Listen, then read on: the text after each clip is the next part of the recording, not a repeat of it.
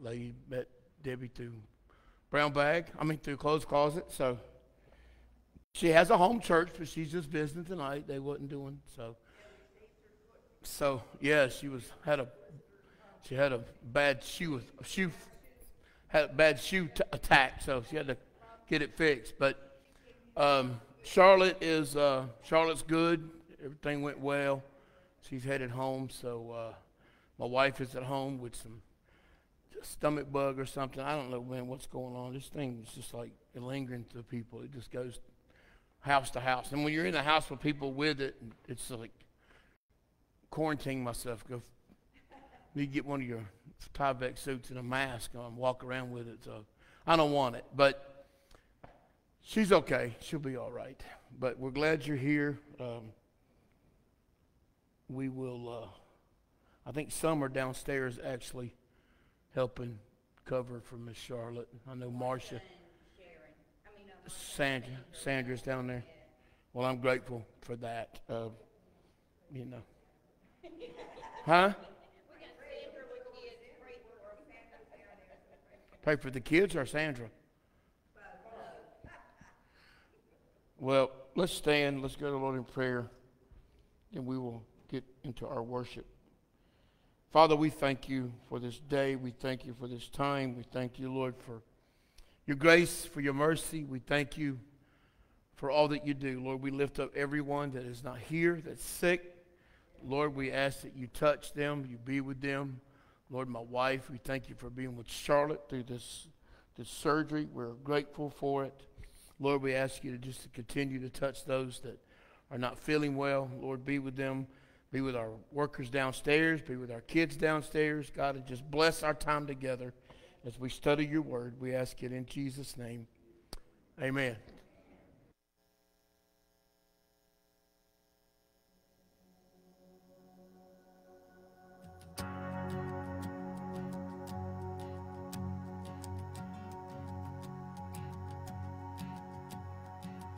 Who am I that the highest king would welcome me?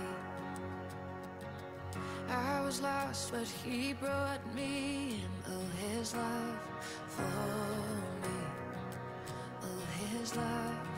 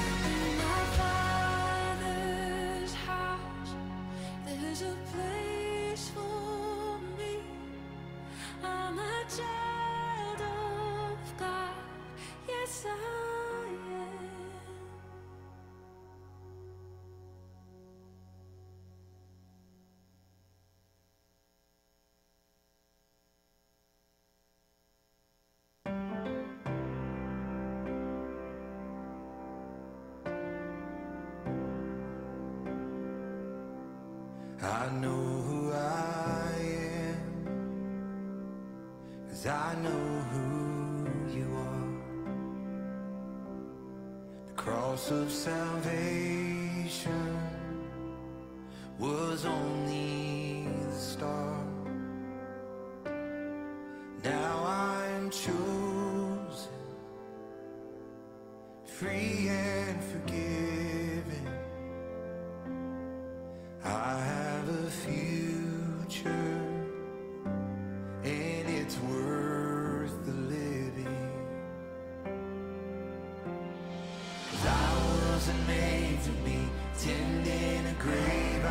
was called by name, born and raised back to life.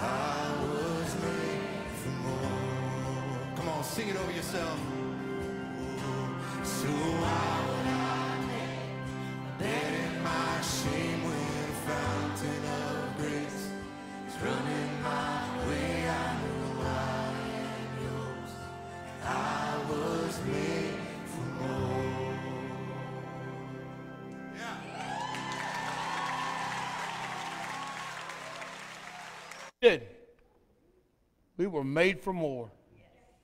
Mm. Acts chapter 12. Acts chapter 12. Some interesting reading in some of this. I don't know how many questions y'all have or comments y'all have, but hopefully a lot.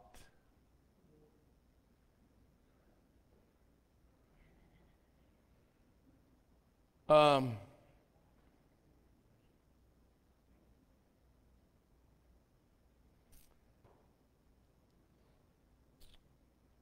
we start this chapter off in verse 12, or chapter 12, with the slaying of James, the brother of John, being killed. Um, and verse 3 says that pleased the Jews that he proceeded further to arrest Peter also because they were so excited about James being killed. Here they are now moving on to arrest Peter. Um, anybody got any any comments, remarks in this first part of chapter 12? Peter? You know, it's, it's funny, it's interesting because they wanted him bound, but yet they felt like it took so many people because they were fearful of what might happen. And we, we find out later, you know, God does do, do something pretty neat. Um, so they had four squads of soldiers and you know, and, and so Peter was kept in prison, but the church prayed to God without ceasing. It's amazing what prayer will do when you come together and do it in unity. Praying over Peter. And we find out over, starting in verse 6, by where we at? It was one of the feasts. Um, let me see if, um, yeah, um, I meant to, I meant to pull that up because I knew that was going to come up, and I did not. It's one of the feasts, the Jewish feast. Um, it, it uh, you know, like the Passover. Um, it, it, all, all, all of those feasts that they, and, and of course, the name of it kind of tells you what it's about, uh, the unleavened bread. But it was one of the feasts, one of the festivals, one of the feast times that they were in. Um, so, right, right. So, um, I knew I meant, I meant to look that up, and because I actually had my other Bible downstairs reading it, rereading it today, and I meant to I, had it highlighted, and I meant to go back and pull that out because I knew that might come up. But it was, I knew I, I don't know which one or how or what what what because a lot of the feasts had different things. They had you know one of them they did nothing but uh, vegetables and stuff, and you know so.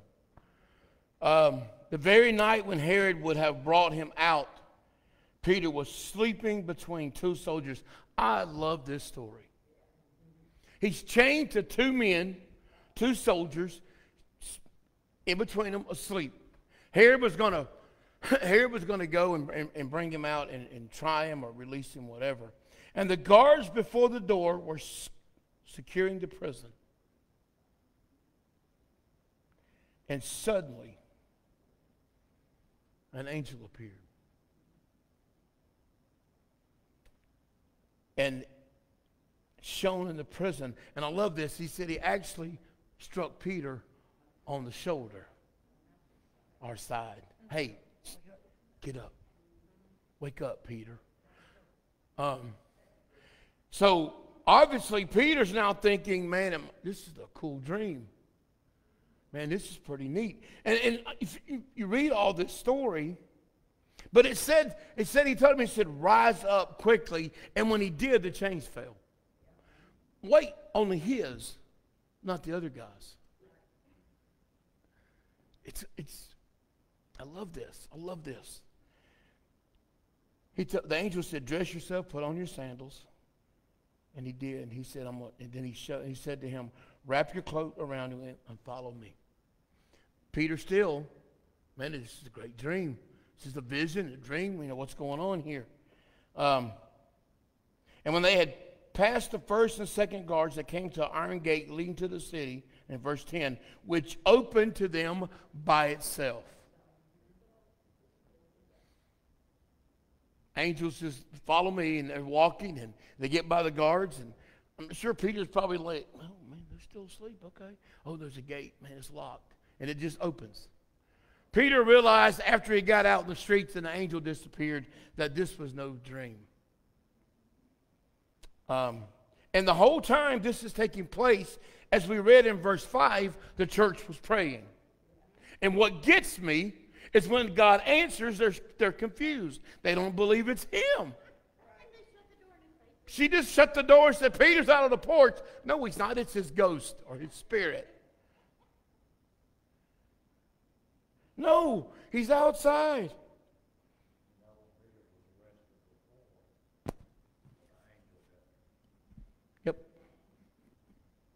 Yep. So, I love what they said in verse 15 when she told him Peter was outside. They said, You're insane. Girl, you done lost your mind. You're crazy. Peter is in jail. He's locked up.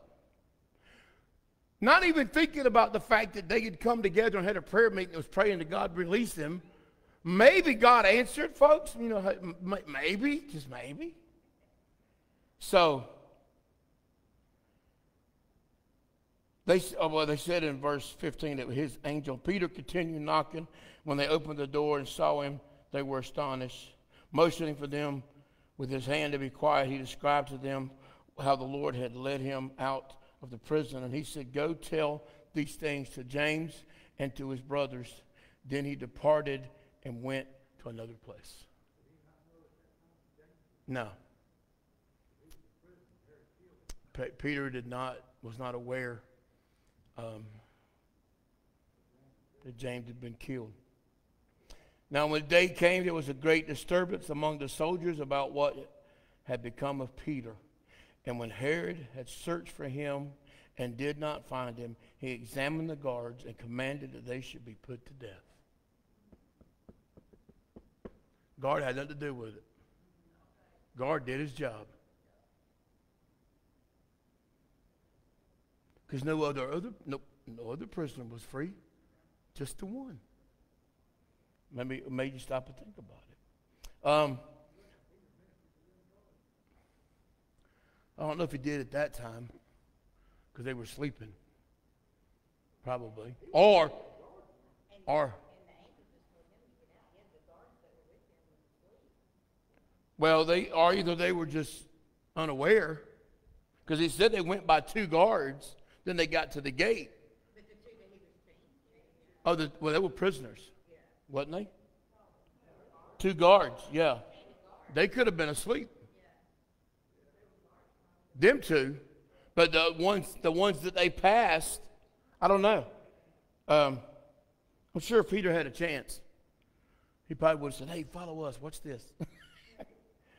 and then Herod, we find the death of Herod at the end of the chapter. Um, um, it says he was Herod was angry with the with the people of Tyre and Sidon, but they came to him in unity, and having made Blastus the king's personal servant, their fr- their friend, they asked for peace because their country was led by the king's country. Um, and they appointed a day Herod dressed in royal apparel, sat on the throne, and gave a public speech to them. The mob shouted, It was a voice of God and not of man. Immediately, an angel of the Lord struck him because he did not give God the glory, and he was eaten by worms and died. Don't share his glory with nobody.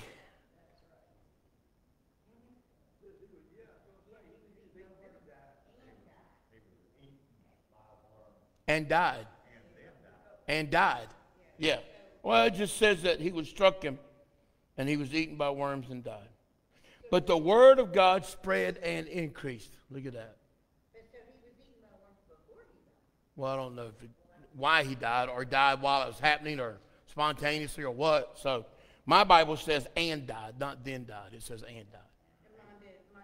And It said and. So I don't know if it was because of the worms or a combination of. He was struck down with something anyway. Um,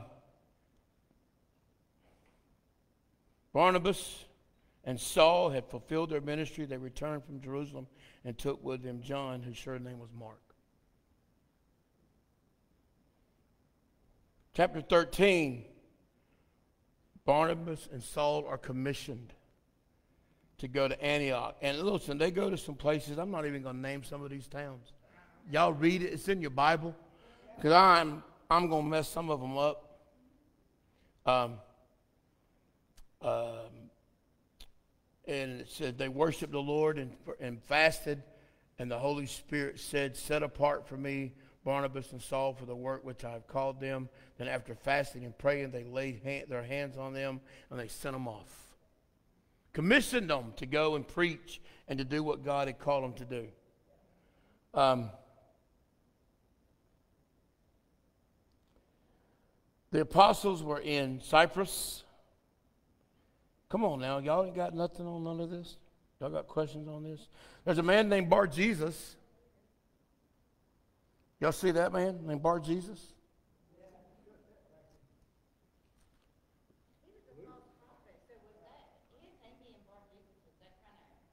Mockery. Mockery. Yeah. Had to be. Um, he was with the proconsul, uh, Paulus, an intellectual, intellect man.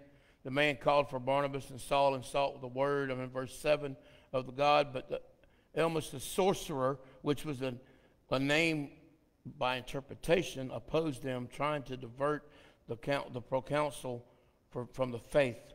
Then Saul, who was also called Paul, filled with the Holy Spirit, stared at him and said, You son of the devil, enemy of all righteousness, full of deceit and, all, fra- and all and of all fraud, will you not cease perverting the right ways of the Lord?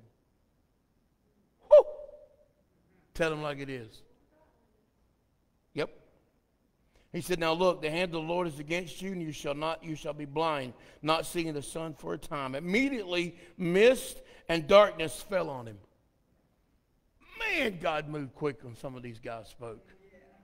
But you got to understand what these guys were facing, what they were going through. Every one of them, not just Paul, but all the disciples. We, we've already learned through Matthew, Mark, and Luke what these guys went through, the persecution they went through. All the, all the, everyone was against them, the Jews, the Romans. Even, we'll find out later, even some of the Gentiles were against them that didn't believe. So they, they really had, had a hard time. um, it said immediately the mist and darkness fell on him, and he went about seek, seeking someone to help to lead him by the hand. When the proconsul saw what had happened, he believed and was astonished at the doctrine of the Lord. Barnabas and, and Paul in Antioch. Um, anybody got anything there? They said, you know, they said they read the law of the prophets. Y'all know the law of the prophets. Okay. Um, the rulers of synagogue went word to, to, went sent word to them saying, brothers, if you have any word of exhortation for the people, say it.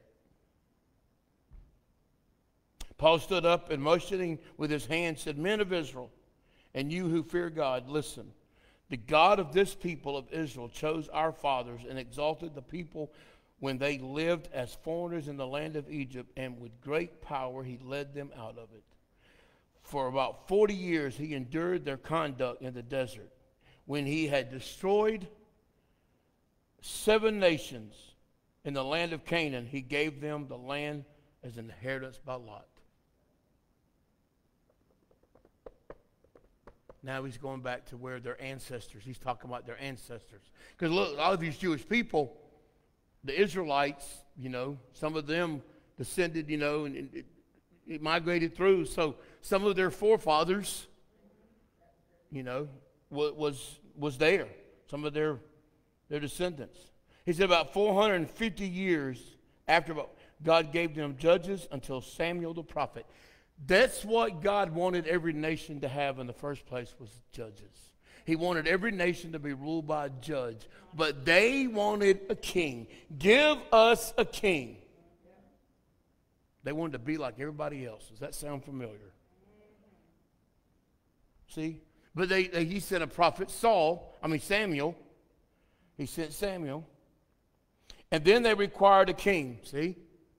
See, the prophet wasn't good enough. The judges wasn't good enough, so they wanted a king. And God gave them Saul. Here you want a king? Here's your one. Here's your one. I'm gonna give you I'm gonna give you this guy. Now we know what happened to Saul. King Saul, that is.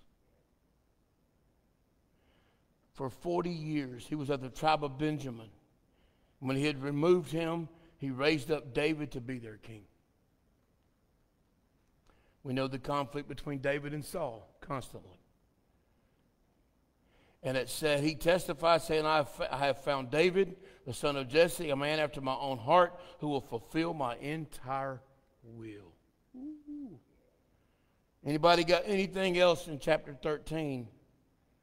As he's, what he's, and what Paul is doing here, he's just going through the Old Testament lineage of, of things from the descendants of God, have raised a Savior for, for Israel, um, Jesus, according to his promise. He's just telling them the, the cycle of how things from, from the being set free from Egypt to the kings, to the judges, and to David, Saul and David, now to Jesus coming on the scene. He said, before his coming, in verse 24, John had preached a baptism of repentance to all the people of Israel. As John was fulfilling his course, he said, Who do you think I am? I am not he, but look, he is coming after me, the sandals of whose feet I am not worthy to untie. Just kind of just telling them, refreshing them. They, some of them had experienced this. You know, they had seen this. Anybody got anything else in 13? Man.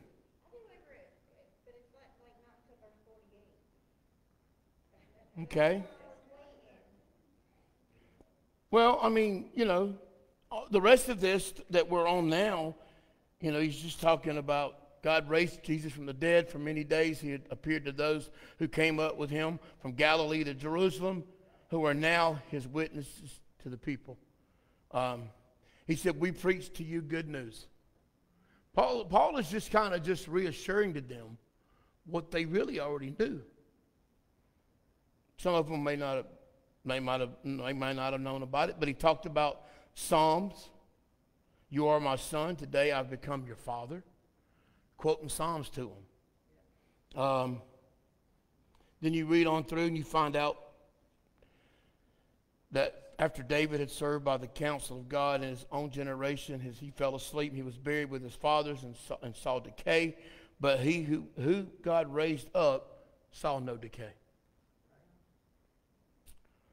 Um, all right, Tracy, where you at? When the Gentiles heard this, they were glad and glorified the word of the Lord, and that were, were ordained to eternal life believed. Okay, see, mine says, and all, and all who were appointed for eternal life believe. What does it mean, all who were appointed for it? Um, ordained, mine says ordained to life. Some have viewed this verse as teaching random predestination. Okay? Um, the belief that God has already determined in advance who will go to heaven, who will go to hell. However, neither the contents of this passage nor the word translated ordained um, gives any hint of such an interpretation. Um, verse 46 clearly points to human responsibility in accepting or rejecting eternal life with God. For this reason, a more literal translation of, of this would be we're inclined.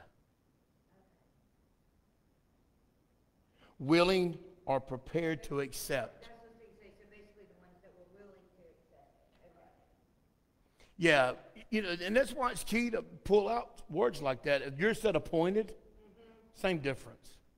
This says ordained. It doesn't mean by like being ordained in ministry, but it meant it means prepared, willing to accept eternal life and believed. You know, there's a lot of people that teach predestination that God already knows. God knows who's going to be saved and who's not going to be saved. He knows everything, but He's still giving everybody the opportunity.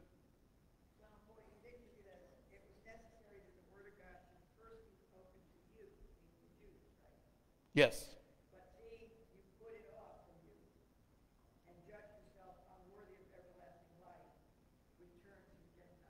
See, that that's why it's referenced in that verse about being ordained or appointed is he referenced back to verse 46 where he said you this, this was it, we were sent to preach to you but because you reject it you don't want no part. We're going to take what we have to the gentiles. Well that's why paul was raised up anyway he was raised up and sent to the gentiles the disciples were going to preach to the jews he was going to preach to the Gentiles. You know, y'all know this. Paul even had an encounter with the disciples. They didn't, they didn't want to accept him. You know, Peter didn't want to, Peter, you better sit down and eat with us, boy. If you're going to be part of this thing. So, I mean, you know, they, they wind up all coming together. Of course they did. But that's, that's the key thing to understand is that because of their rejection of what Paul and Barnabas were, were preaching, Okay, we're going to take it to the Gentiles now. And even, we'll find out later, even some of them reject, rejected it. Um, verse 49 says, The word of the Lord was spread throughout the entire region. Look, every time they do this, God's word just spreads even further. And that's, it leads us to where we, in chapter 9, when, when the church was scattered because of persecution, that's where the gospel went around the world and it's just region to region to region. The Jews stirred up the devout and honorable women and the chief men of the city and raised up persecution against Paul and Barnabas and drove them from their region. They went got the big wigs, so to speak, the influencers, the ones that had influence and the ones that, that were, of importance. And they got they ran them out of the region. So they shook off the dust of their feet against them and went to Icon, Iconium. And the disciples were filled with joy and with the Holy Spirit. So they just dusted their feet. Hey, look, you don't want us here? We're going to take this gospel, clean up, and we're going to take it to somebody who wants it. So they went to another. Now here they are, Iconium. They entered the synagogue of the Jews together and so spoke that a great crowd of both Jews and Greeks believed. See, some believed them. Some, the Jews accepted it. Some of the Greeks accepted it. It said, but the unbelieving Jews stirred up the Gentiles and embittered their minds against their brothers. See, right there. See, someone influenced the Gentiles. So they continued there a long time, speaking boldly for the Lord, who bore witness to his gracious word, granting signs and wonders to be done by their hands. But the people of the city were divided. Some sided with the Jews and others with the apostles. When an assault was planned by both Gentiles and Jews with their leaders to attack them and to stone them, they learned of it and fled to Lystra and Derbe, cities of Lycaonia and the surrounding region, and there they preached the gospel. There was one area in here, I think we skipped it. And I, maybe we didn't. Maybe we hadn't got there yet. I'll see if I can, uh, maybe, I don't know. Um, so, there again, they're preaching. Now they go to Lystra. There sat a man a crippled in his feet who had never walked and was lame from birth. He heard Paul speaking, who looked intently at him and perceived that he had faith to be healed. Discernment. Had to be discernment, had to be the Holy Spirit just showing him that man believes. But he's. Now listen, I know some people might think, well, if he believed, Pastor, and he had all that faith, was, why wasn't he already healed? Because it had to be Paul that encountered him. It had to be Paul. It had to be this incident. Look, how many times did we talked about this? The man at the gate, beautiful. When Jesus went to the pool of Bethsaida, he had to walk by that gate, or whoever had to walk by. That man sat there every day. Jesus walked by and went to Bethsaida. He, he wasn't healed till the disciples walked by him. When Peter and John walked by and they said, Silver and gold, we don't have any, but what we have, in the name of Jesus, get up and walk. Jesus didn't even heal that man.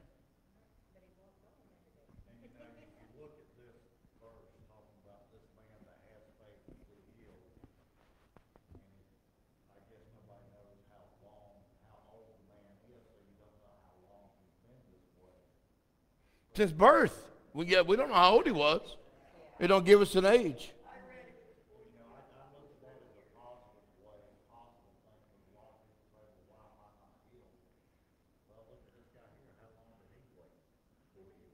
Well, I don't know if he was 40, but I know the young, the, uh, the other kid, the other one he healed was because of his parents. They said he's grown. Ask him.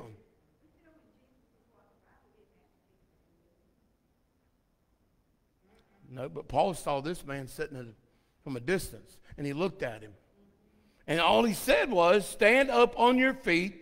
And the man jumped up and walked.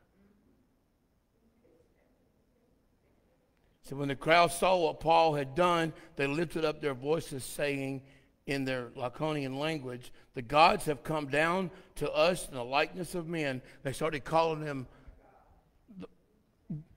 Zeus and Hermes. Paul kind of stops them real quick. He kind of gets a little agitated with that. Hey, look, we're just men like you are. That's what he said. Um, he said, Man, while you're doing this, we are also men of like nature with you, preaching to you to turn from these vain things to the living God who made heaven and earth and the sea and everything in them, who in times past allowed all nations to walk in their own ways. He did not leave, he did, yet he did not leave himself without witness, for he did good and gave us rain from heaven and fruitful seasons, satisfying our hearts and with food and gladness. With these words, they scarcely restrained the, from the crowds from, from sacrificing to them. Um, anybody else got anything in 14? It says they returned to Syria. Um, said when they had preached the gospel to the city and made many disciples, they returned to Lystra and to Iconium and to Antioch. There we go again, back in Antioch. Strengthening the minds of the disciples and exhorting them to continue in the faith, to go through many afflictions as they enter the kingdom of God.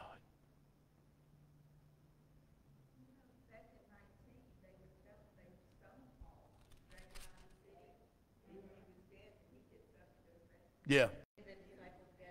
Like, yep. Yep.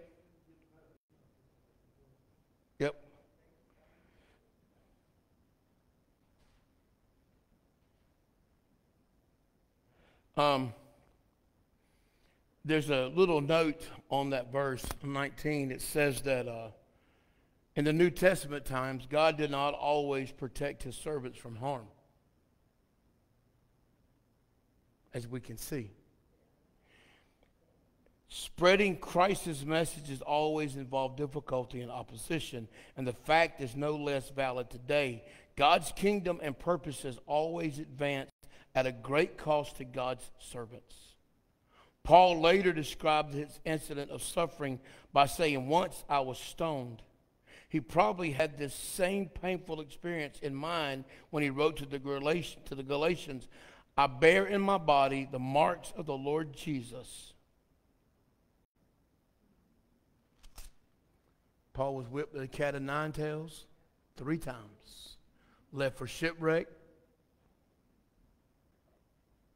Well, we found out last week when Jesus said, Go tell Paul what the things he's got to suffer for my sake. Paul could have said, Nah, that's all right. That's all right. I'm going to go back and do what I was doing before. I'll just take my chances. Nope, he couldn't. He'd been transformed. Um,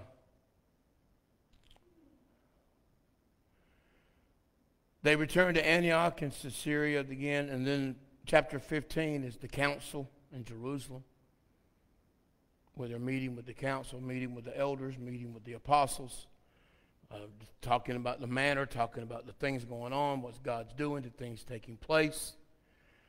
Um, Verse 12 says that the entire assembly remained silent and listened to Barnabas and Paul declaring what signs and wonders God had done through them among the Gentiles. After they had become silent, James answered, Brothers, listen to me. Simon has declared how God first visited the Gentiles to take from them a, a people for his name. With these words of the prophets agree as is written. And he goes on and talks about that. By the way, that James there is James, not is, is there was James the Less. No, wasn't John's brother. It was James the Less. John's brother was just James. So he would. So yeah, yeah. It's a different. Look, there was a couple of Jameses. It may have been Jesus' half brother even. Could have been Jesus' half brother James. I have to look that up and make sure who that was. No, if there's a one that was dead, then we got a problem with, with that. Yep. Um, and you, and you can read there in verse 16 through 18 what, what was said. Um, he said, Therefore, my judgment is that we should not trouble those of the Gentiles who are turning to God, but that we write to them to abstain from food offered to idols, for sexual morality, for straying on animals, and from blood. For Moses had, had in every city since early generations those who preach him being read in the synagogue every Sabbath.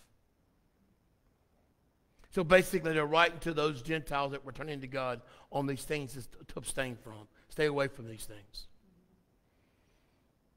Don't know what the strangled animal means. I have to find out what they're talking about.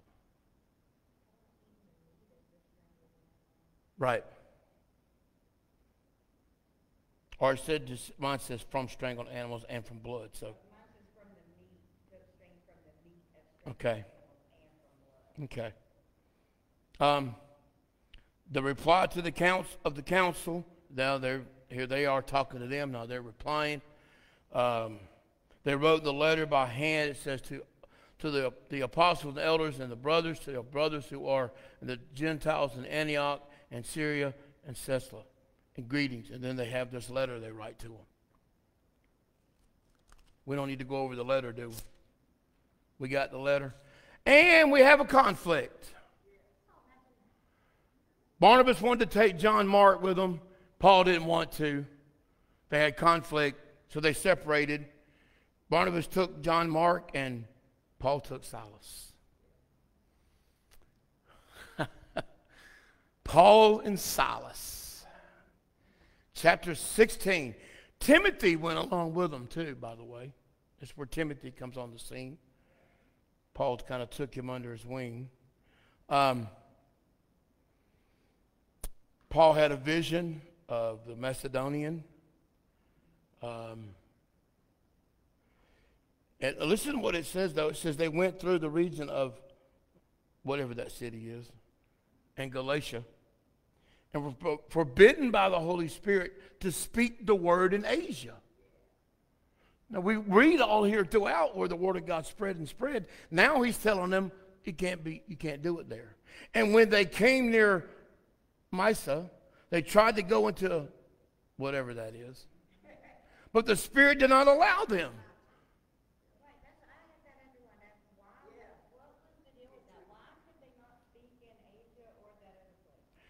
Okay?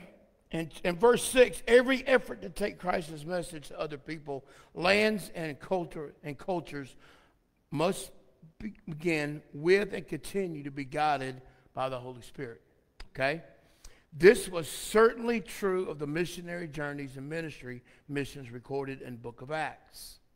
The Spirit's guidance may have taken the form of a prophetic revelation someone speaking a God given message as motivated by the Spirit, an inner sense of direction to one's mind or spirit, external circumstances or visions. Under the impulse of the Holy Spirit, God's messengers moved forward to take Christ's message to those who had not yet heard of him and were still spiritually lost. The fact that they depended on the Spirit's guidance did not mean that they waited for an un, unmistakable sign at, at each turn, trusting that God was putting his desires and thoughts of guidance within them. They moved forward in their plans. When God kept them from going in one direction, they would go in another, trusting the Holy Spirit to either approve or disapprove of their plans. So basically, what they were doing was being led by the Spirit. If He said go, they went. If He didn't, they didn't go there. I don't know if they ever questioned it. I don't know if it was a fact that maybe some of them folks had heard this and rejected it, and now He's going to ones that hadn't heard it. I don't think there's really a clear understanding of why He said don't don't do it in Asia. Don't go into those places. it says, During the night, a vision that came to Paul, a man of Macedonia, stood and pleaded with him, saying, Come over to Macedonia and help us. After he had seen the vision, immediately he sought, we, we sought to go into Macedonia, concluding that the Lord had called us to preach the gospel to them. Then the conversion of Lydia. Lydia, she was a maker of purple. She made the purple. But she was a woman of God. Some say she might have been a prophetess, but I don't, you know, don't know for sure, but she was definitely a woman of God. Um, the Lord opened her heart to acknowledge what Paul said, and when, when, she, when, her, when she and her household were baptized, she entreated us, saying, If you have judged me to be faithful to the Lord, come to my house and remain there. And she persuaded us uh, imprisonment in Philippi. There he is again, going back to jail. Man going back to jail. Um, on one occasion, as, as, as we went to the place of prayer, a servant girl possessed with a spirit of divination. Y'all know what that is, right? A spirit inspired words as messengers from a God, so her services as a fortune teller were in high demand she was possessed, basically, what she was. But um, so anyway, she, uh, she met us and who brought her masters such profit by fortune telling. She followed Paul and us, shouting, These men are servants of the Most High God who proclaim to us the way of salvation. She did it everywhere for many days, everywhere they went. It's a mockery. That's what it was. It was a mockery. It was a distraction. It was a disturbance. Yeah, yeah. Just driving confusion and, and dispersing confusion. um, but became greatly troubled. Paul turned to the Spirit and said, I command you in the name of Jesus Christ to come out of her. And it came out at that moment. At that instant, her masters saw that the hope of their prophets were gone. they realized that, well, we can't make no money off her anymore. They seized Paul and Silas, dragged them into the marketplace to the rulers. They brought them to the magistrates, saying, These men, being Jews, greatly troubled our city, and teach customs which are not lawful for us, being Romans, to receive or observe. The crowd rose up together against them, and the magistrates tore the garments off of them and gave them orders to beat them. After they had many stripes on them, they threw them into the prison, commanding the jailer to guard them securely. Having received such an order, he threw them into the inner prison and fastened their feet in the stocks. This particular prison they were in, well, all the prisons over there, basically, there was a, trench in the middle, and that's where all the bathroom stuff took place. So it wasn't a pretty place. It wasn't a pleasant place. No prison back then was probably pleasant, but it was really, really bad. And they put them in the inner part. Yeah, Tracy's like, ew. So, having received such an order, they threw them into the inner part, and, they, and their feet were put in stocks. At midnight, Paul and Silas have, started to have a worship service. Why don't we pray and sing? I'm, Paul, Silas is probably like, man, look what you got us into. And Paul's probably like, man, listen, why don't we just pray and just worship? Worship? What do you mean worship? I'm chained to this nasty place and you want me to worship? And the prisoners were listening to them. Wow. Suddenly there was a great earthquake. My God, if we could come get worship in here that would shake the ground. Whoo, I'm all for it. I'm all for it. Let's do it. So they were praying, worshiping. The prisoners were listening. Earthquake came. The foundation of the prison was shaken, and immediately all the doors were open, and everyone's shackles came off. Don't know how many prisoners are in this room or in this place. The jailer awoke and saw the prison doors open. He drew a sword and was going to kill himself. Paul said, Hey, hey, hey, don't do that. We're all right here. We, we, we still got a worship service going on. We're not. And that man was saved. His whole household was saved.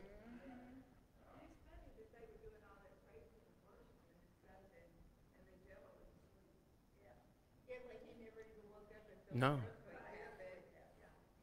No, he woke up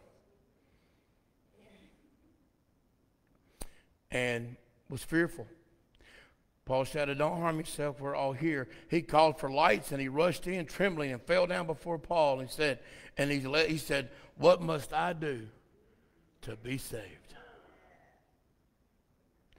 Tell me something can't happen during worship, during prayer. God can do what he wants with it. They said, Believe in the Lord Jesus Christ, and your, you and your household will be saved. And they spoke the word of the Lord to him and, the, and, and to all who were in his household. Yep. Mm-hmm. No. And he spoke the word of the Lord to him and all who were in the house. And to his house. In that hour of the, of the night, he took them and washed their wounds, and immediately he and his entire household were baptized. And they brought them up to the house and set food before them, and, they, and he rejoiced with his entire household, believing in God. It's amazing that they were put in the prison they were put in and where they were put for a jailer who was sitting there who needed to hear it.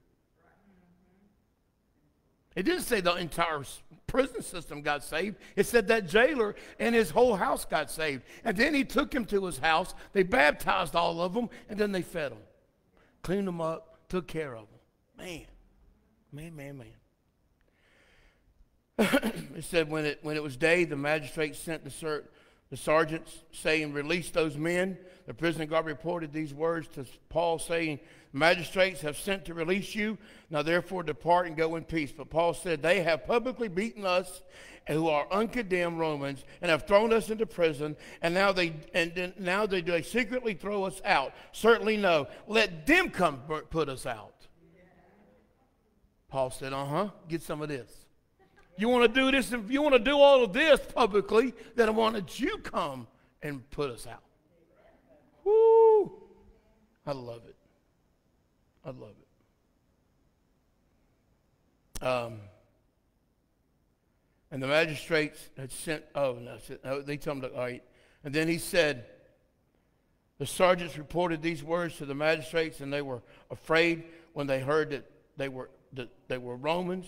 So they came and entreated them, and they brought them out, asking them to leave the city.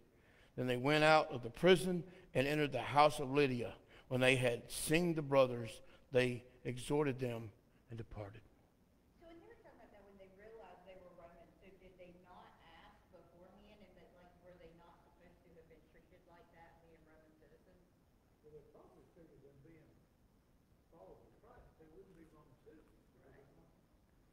Nope.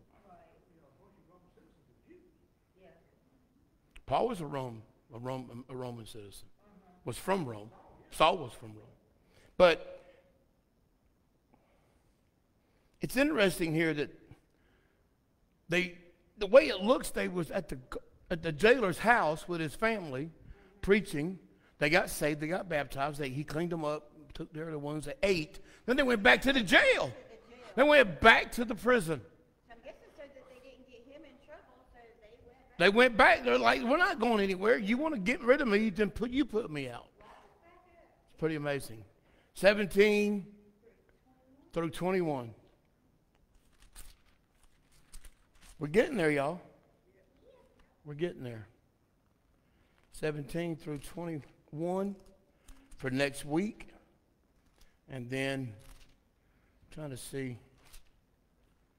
There's only 28 chapters. So.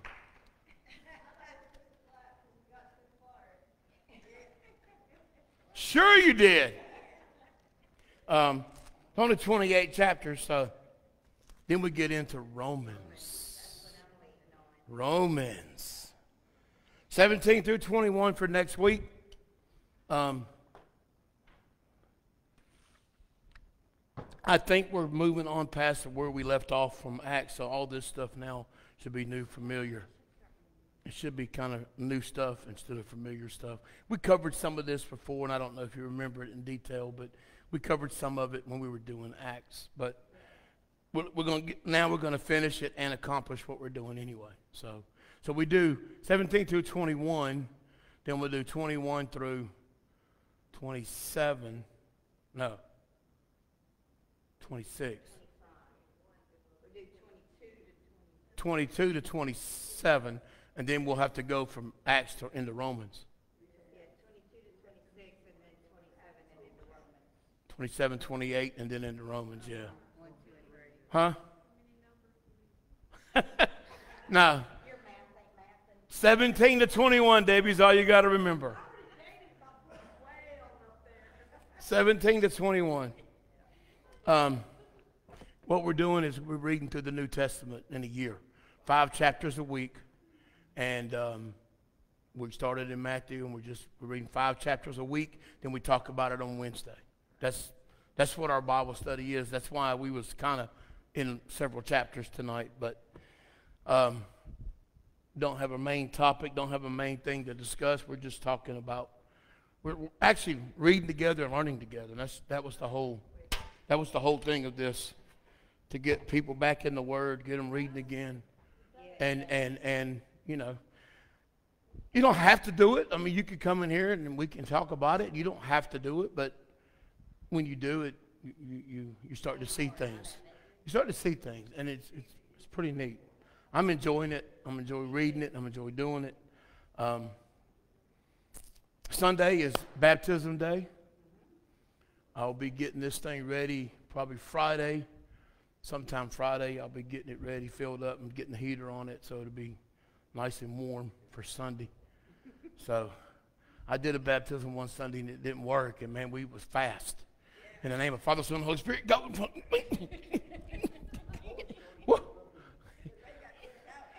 Yeah, I had to stay in there. But once you stay in there, you're okay. It was those coming in. They come in and go. It was like, I know it's cold. I'm sorry. It'll be all right. Come on. When I got baptized, the was. Hey, they used to baptize in the rivers, man, in the winter. I'm like, oh, wait till I'll wait till spring or summer.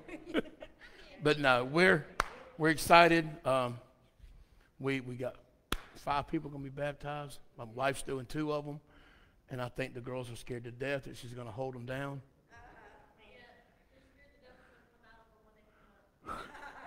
Good, maybe it will, but yeah.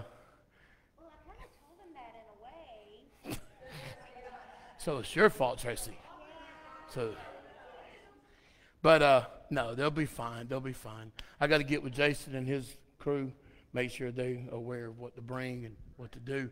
So we'll have service, we'll have worship, we'll have service, and then as soon as that, we'll have them get changed and we'll get into. I have to help my wife in, so she's going to baptize the girls. So, um, but anyway, we're excited. We're glad. It's a great day. It's a great time. Um, we had a baptismal service one time, and we had like, I don't know, four, five, or six people signed up to baptize. And I was like, anybody else want to be baptized? About six people got up and came up there, got baptized. Tim was one of them. Tim wanted, he went home with his wet clothes. I'm like, hey, and I'll do the same thing if some people want to get baptized. Huh? Oh, the end of the year? Yeah. We did that. As we come out of 2020, the Lord had showed me, had told me, have a church-wide baptism. And I'm like, Lord, they've been baptized. He said, I'm talking baptized into this year and going into a new year. Man, Miss Jean, I thought she was about to walk on top of the water. She was, she got fired up, man, when we baptized her that day. But yeah, it was, we had everybody, not everybody done it, but most of the church. Me and Steve was in there, and they were coming in, and we were dunking them and putting them out, dunking, putting them out. There was a couple of them Steve put his foot on. It's like, oh, I'm sorry. No, I'm just kidding. I'm sorry. That's right. And then uh, I baptized him. My wife baptized me. Man, that was it was powerful. It was a powerful day. And uh, but Who are you trying that Miss Pauline wants her husband to get? Wayne. Wayne has never been baptized. And I talked to him Sunday, but he's scared that when he go, steps in, he's scared he might fall. And I said, they'll get you in. I we'll help him in. I thought he will put somebody else in the. Everybody, everybody in that family's been baptized. Bring your stuff. Bring your stuff. That's what I told him. I said, we'll put somebody else in the pool to help. Bring your stuff, because my wife, I help her down. I got to help Deb down, so Deborah's going to have to be down. So